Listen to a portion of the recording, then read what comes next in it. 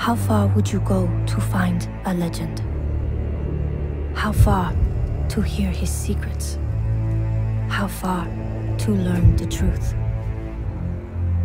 I have traveled a long time, followed many roads, and suffered much grief to find him, to learn his secrets before my enemies find us.